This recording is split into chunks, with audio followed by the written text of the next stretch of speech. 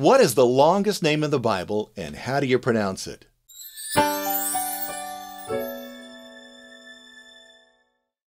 Hi, I'm Steve Webb. I'm the author of Webb's Easy Bible Names Pronunciation Guide. I'm founder of Lifespring Media, home of the world's first Christian podcast, and I'm a lifelong Bible student. Today, I'm going to tell you how to say this really long name and how to do it easily. But first, who was this guy? Well, we read about him in the book of Judges, chapter 3, verses 8 and 10.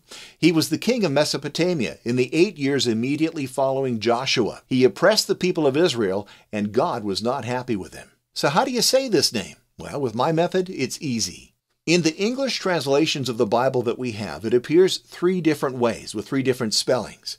All the uh, pronunciations are basically the same except for the one that is different, and that comes from the Douay-Rheims version of the Bible, and it's only slightly different, but because that's the least common, we'll use the other um, versions that we see in all the other English translations. And what we'll do is we'll take the spelling of the name that looks the scariest and we'll break it down and I'll show you how easy it is. In my book, I break it down just like this.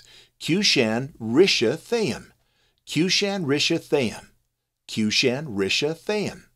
It's easy. As you can see, even long, seemingly difficult names are easy once you break them down like I've done in my book. It took over two years, but I took every name in every English translation of the Bible and every spelling of every name, and I broke them down just like you saw me do on this one today.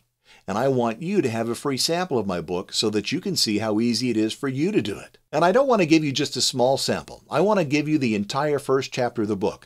All the names that begin with the letter A. That's 966 entries. I want you to see just how easy it is to do this. It'll make your personal Bible study more fun. If you're a Bible study teacher, or if you're a Sunday school leader, if you're a lectionary reader, if you're a pastor, if you're a Bible student, if you're a homeschooler, it will be more fun once you see how easy it is to pronounce any name in the Bible. That's why I want you to have a sample.